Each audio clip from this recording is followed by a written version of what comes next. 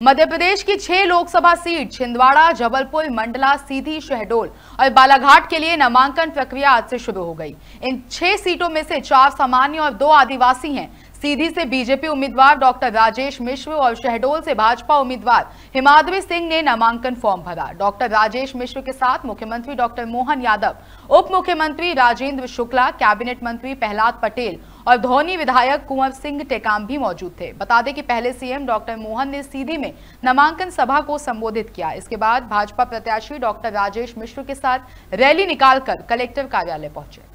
माननीय नरेंद्र मोदी जी के नेतृत्व में एक बार जोरदार अभिनंदन करो यशस्वी प्रधानमंत्री नरेंद्र मोदी का।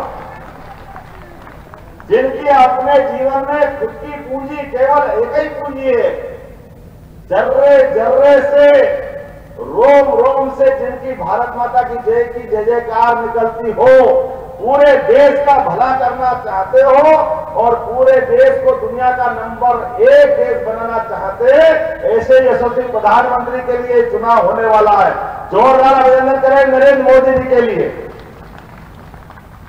आप बताइए, कौन सा क्षेत्र छूट रहा है?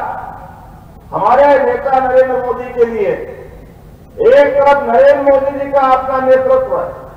लगातार दो बार सरकार बनाने के बाद, अब तीसरी बार उनके कदम बढ़ रहे हैं और ठोस कदम बढ़ रहे हैं।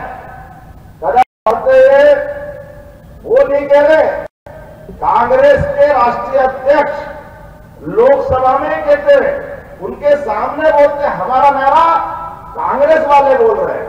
अब की बार, अब की बार, अब हम नहीं कह रहे, उनके नेता बोल रहे हैं। जब उनको मालूम है तो हमको भी मालूम है क्या? हमको तो पहले मालूम, आएगा तो